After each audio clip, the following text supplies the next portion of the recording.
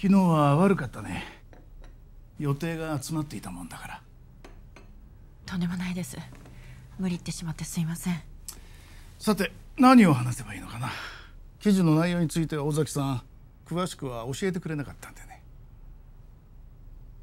吉野という名前に聞き覚えはありますでしょうか？はて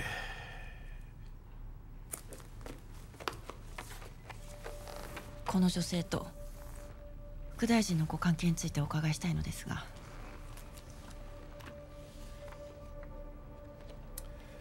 これは私ではない。この女性が殴り殺されているのをあなたが見ている監視カメラ映像があります。記事は明日掲載されます。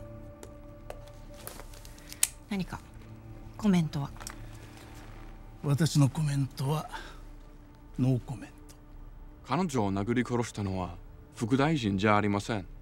戸沢心臓にはめられた。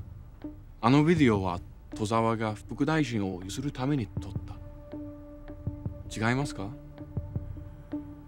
戸沢の罪を暴くことに協力してくださったらそこははっきりと書きますから。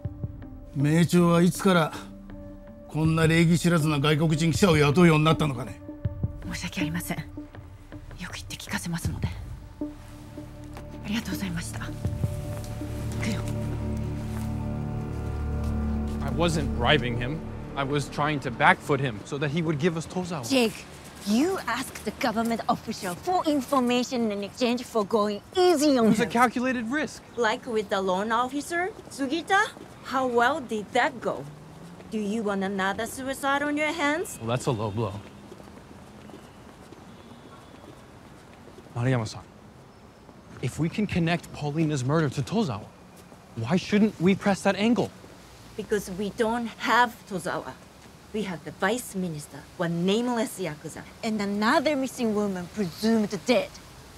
Who deserves to have her story told?